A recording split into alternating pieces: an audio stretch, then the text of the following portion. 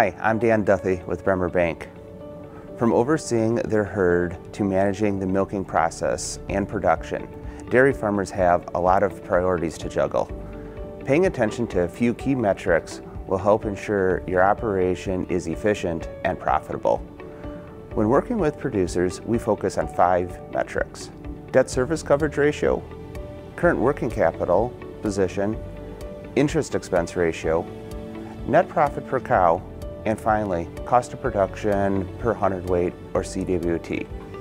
These metrics are especially important if you're looking to obtain additional credit or take out a loan. Your bank will use these metrics to determine if your operation is efficiently run and profitable with healthy debt levels.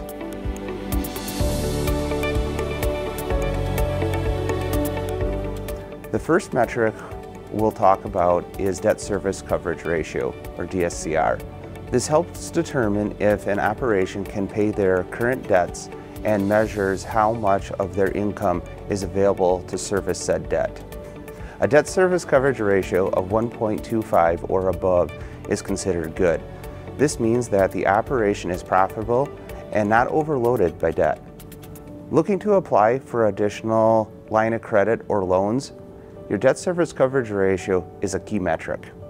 Calculating your debt service coverage ratio is relatively simple. Start by adding your net farm income to your non-farm income and your term interest expense plus your depreciation expense. Then subtract your income tax expense, owner's withdrawal or dividends, and non-farm expenses. From the remainder, divide by the sum of your term interest expense plus your term principal payments. The number left over is your debt service coverage ratio.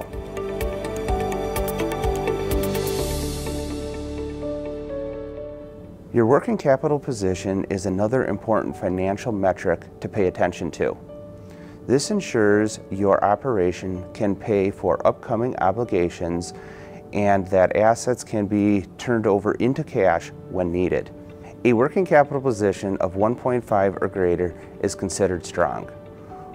Working capital position is the ratio of your operation's current assets like cash, feed or crop inventory, prepaid expenses, divided by your current liabilities like accounts payable, taxes, accrued interest, and your current portion of term debt. A strong working capital position will help you survive challenges from market volatility to disease outbreak. Having cash reserves will also allow you to quickly respond to opportunities such as purchasing good buys on feed, fertilizer, or other operating expenses. It can even help you update or upgrade equipment without the need for borrowed financing.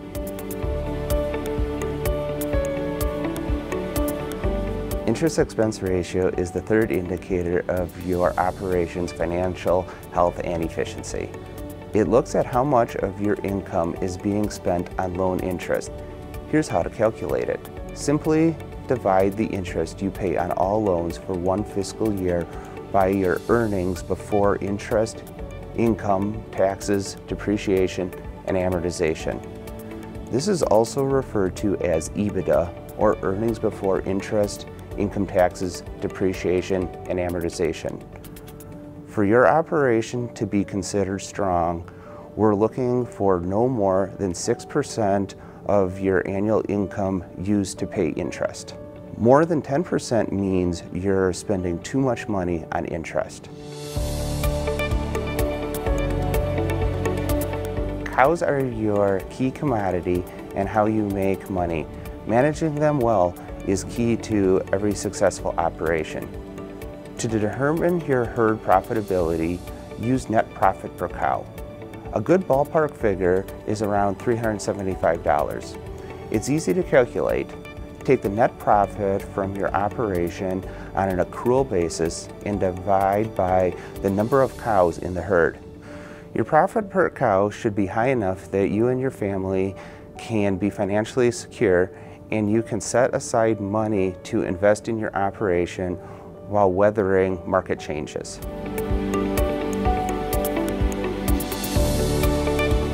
Any financial metric is useless without context. That's why we look at whole farm cost of production. Your whole farm cost of production takes into consideration five factors.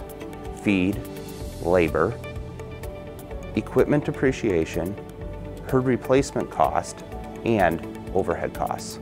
This metric takes the sum of those expenses divided by the hundredweights, or CWT, sold to yield.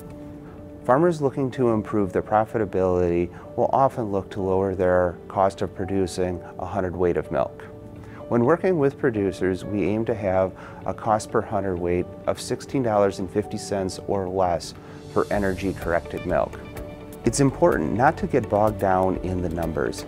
Maintaining accurate records and working with your banker to make these calculations are two proactive measures you can take. But don't stop there. You can also make well-informed decisions about purchasing new equipment or livestock. Buying more land or reducing expenses should also be considered carefully. Knowledge is power. Having the right information at your fingertips will help improve your operation. Thank you for watching today and be sure to check out our other videos in our ag series.